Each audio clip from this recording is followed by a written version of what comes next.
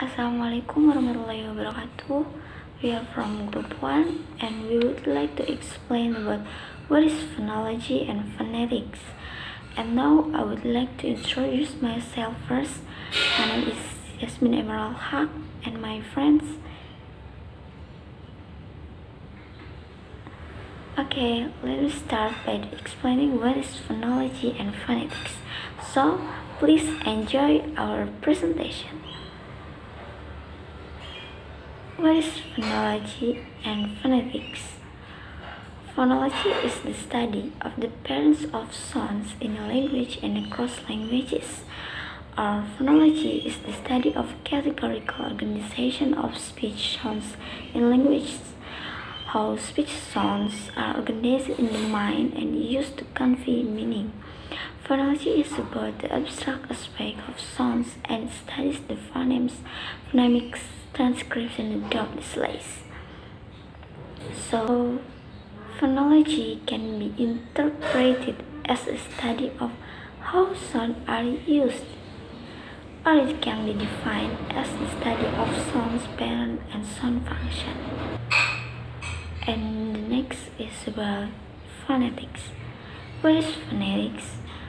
Phonetics is about the physical aspect of sounds. It studies the production and the perception of sounds called phones.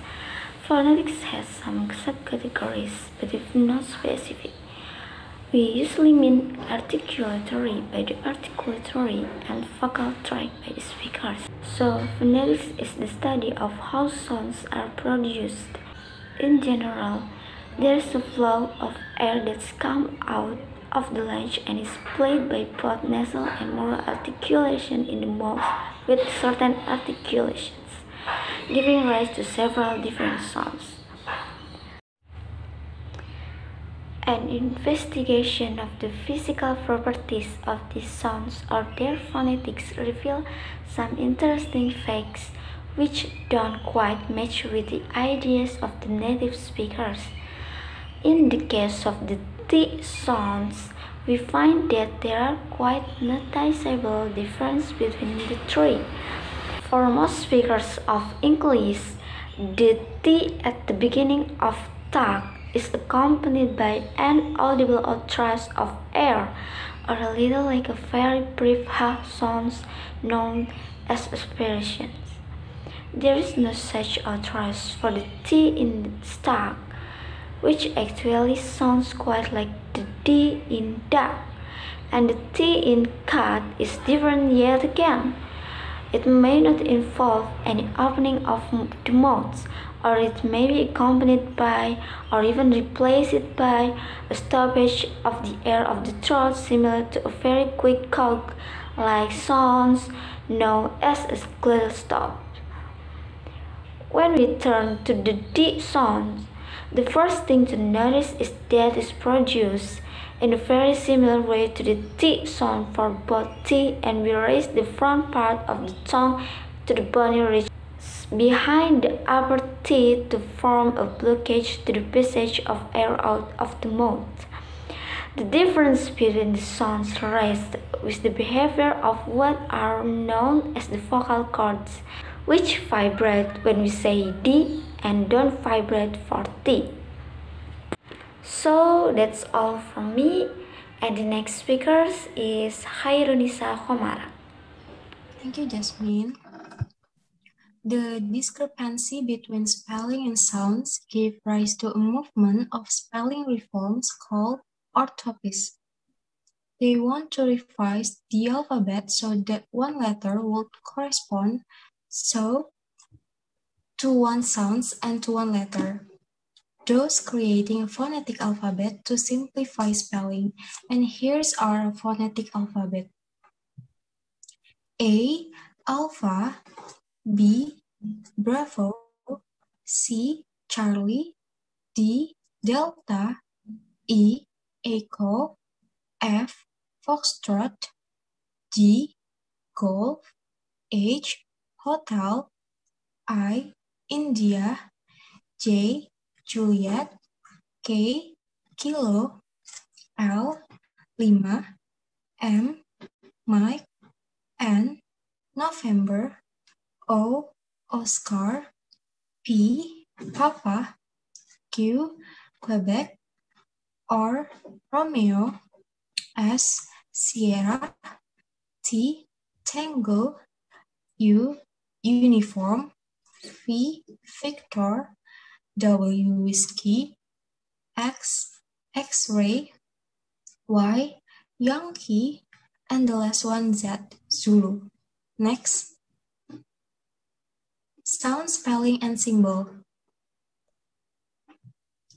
Spelling originated as a transcription of the sounds of spoken language according to the alphabetic principle. We know that there are 26 alphabets in English from A to Z. Spelling is related to the way to spell such a spell person's name.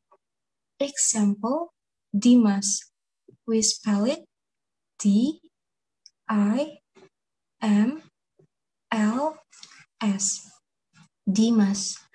Our study in phonetic is not focused on spelling, but on sounds and symbol.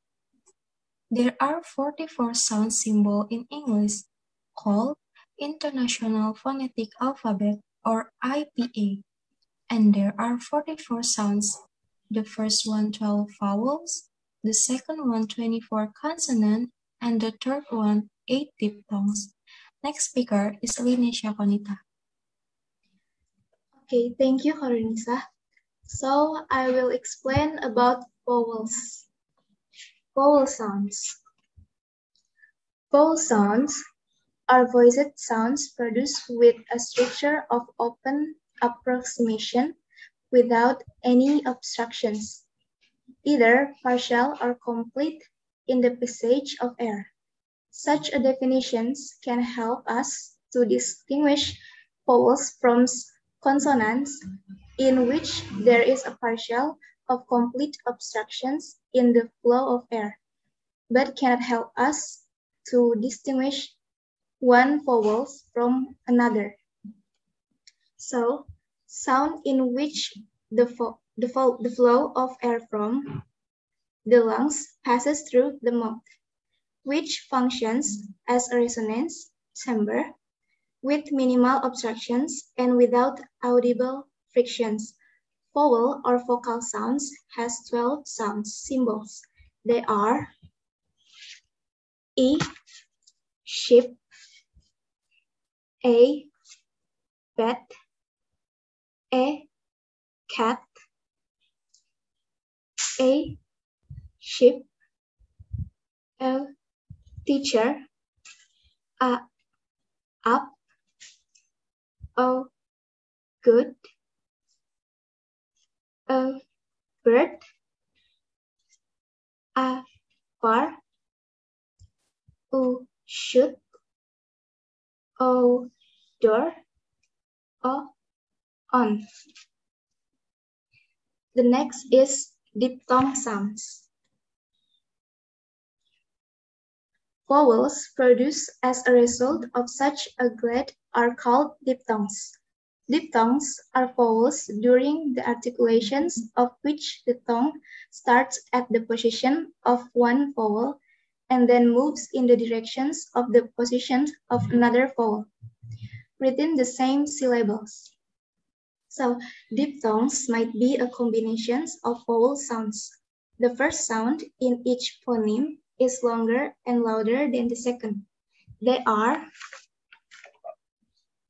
one, a, let, late. Two, I, guy. Three, oi, boy.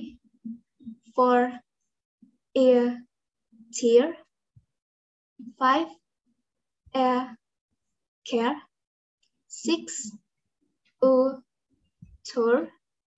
Seven, out, cow eight, oh, go. So the next speaker is Khairunisa Komara. Consonant sounds. Consonants can be described from three standpoints. The presence of absence of voicing, or voice or voiceless, the manner articulation and the place of articulation. Here's a symbol. P, pit, b, bit, t, tap, d, dap, k, cap, g, gap, f, fan, f, fan, sah, sat, zoo, um, man, an, not, ha, hot, a, let, er, rat, u, wet, t, tot, dum, sh, shy, s, treasure, ch, chime, j, jam, y, yum, and the last one, um, sing. So, in articulatory phonetic, a consonant is a speech sound that is articulated with complete or partial closure of the vocal tract.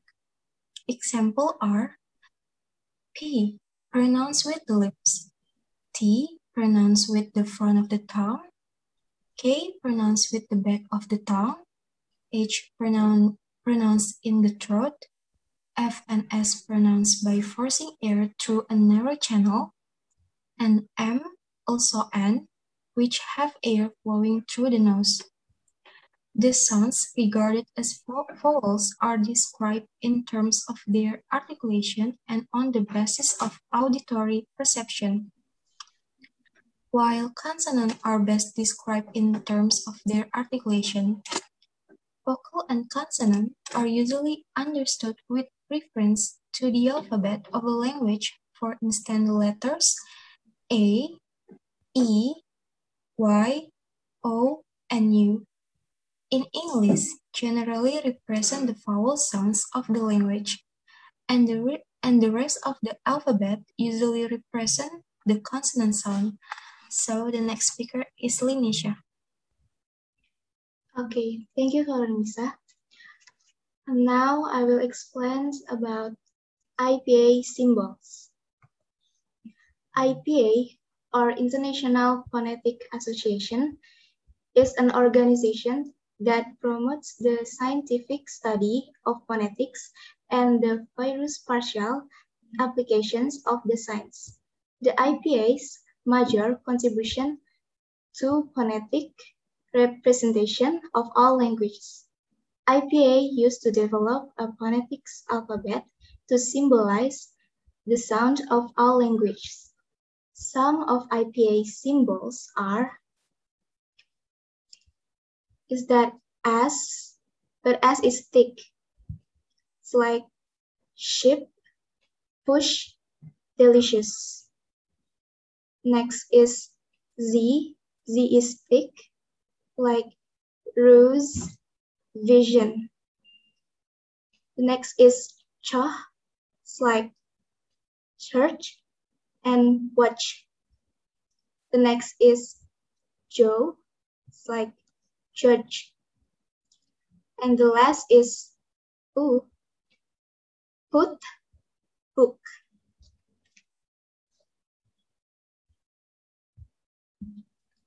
That's all from me.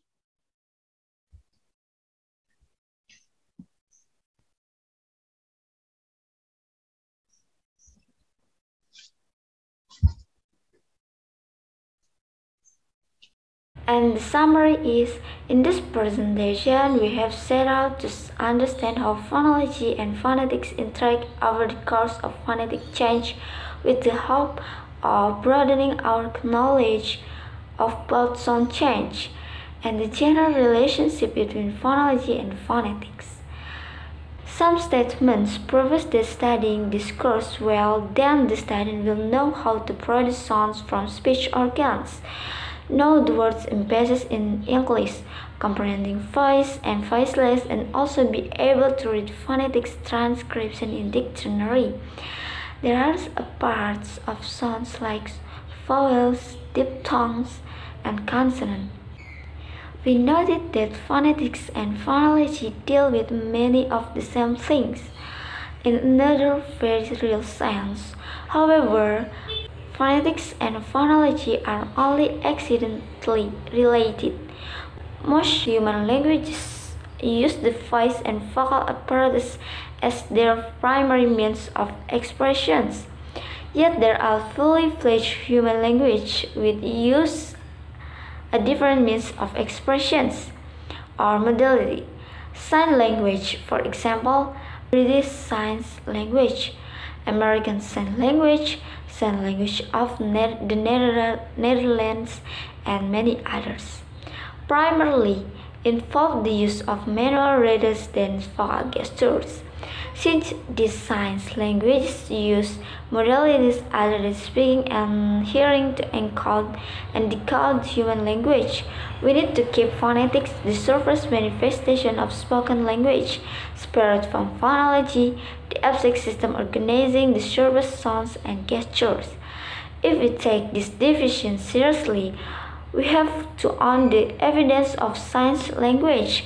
We need to be careful to distinguish systematically between phonetics and phonology. So that's all from our group. Thank you for watching. Wassalamualaikum warahmatullahi wabarakatuh.